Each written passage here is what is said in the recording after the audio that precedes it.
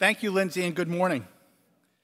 I first came to SOCAP uh, three years ago, um, intrigued by all the energy around impact investing, and wanted to see how sustainable public market investments fit in and become a part of that conversation. And it's been great to see how SOCAP has helped that conversation evolve. And I'd like to continue it here this morning at the plenary, and also there's a panel at 11 that's going to deal a little bit more about how public markets integrate into impact investor portfolios.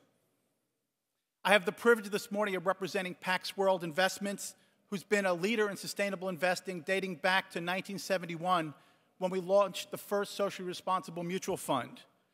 I'd like to share a little bit of our perspectives on the evolution of sustainable in investing and the increased linkage across its evolution to impact and how we very much believe that public and private market investments can be integrated in a holistic, impactful way.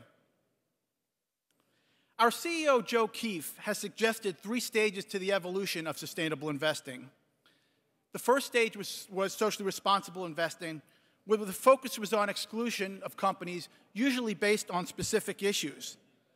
But there was also the early stages of share owner engagement, an ability to have impact by talking to companies and helping them change behaviors.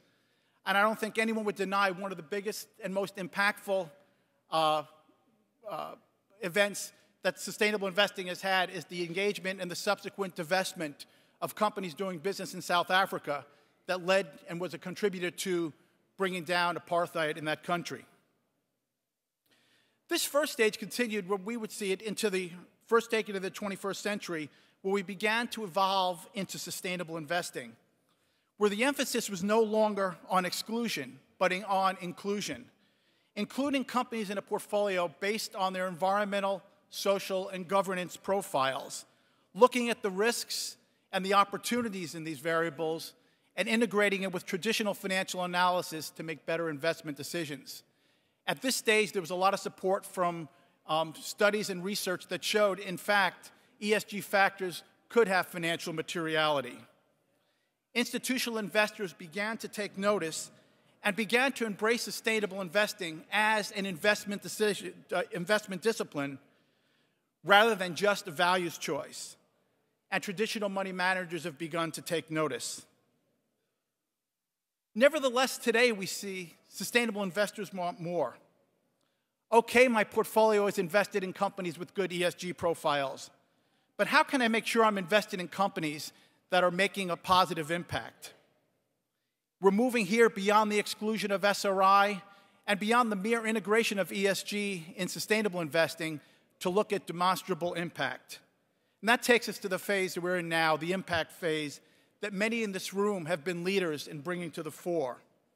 It clearly builds on the first two phases, but brings additional clarity around two objectives delivering competitive returns while also having significant social and environmental impacts.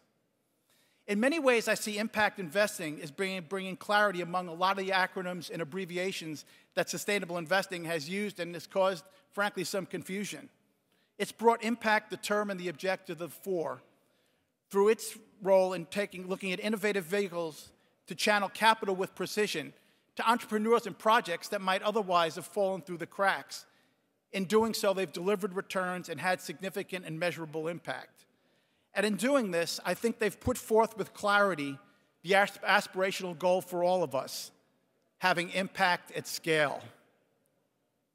But to do that, I believe we must continue to all come together, no matter how we choose our affiliations, whether we call ourselves socially responsible investors, sustainable investors, impact investors, or mainstream investors. We need to look at portfolios comprehensively for return and impact across asset classes and investment styles, looking at private market investments that are providing essential capital with focused impact, looking at sustainably publicly traded investments for companies with better ESG profiles and some of these companies that are providing impact at scale, and engaging with other companies to have an impact and make them better corporate citizens. And as we succeed in delivering returns with impact, we will all achieve what I believe is a uniting and overarching goal, is attracting more and more capital to building a just and sustainable world. Thank you.